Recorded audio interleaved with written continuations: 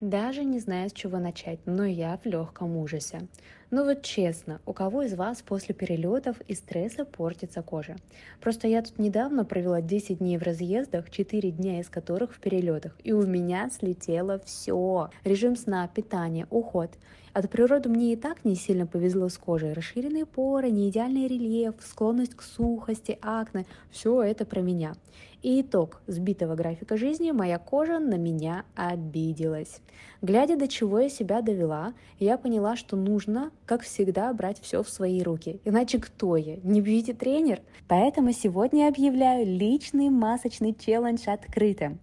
7 дней ухода за собой, где я буду приводить лицо в порядок, делать гимнастику для лица, массажи, маски и другие процедуры. Ну а чтобы не слиться, буду показывать все в сторис. Если у тебя есть такие же проблемы, как и у меня, то эти 7 дней тебе точно пойдут на пользу. Заходи в сторис, встретимся там.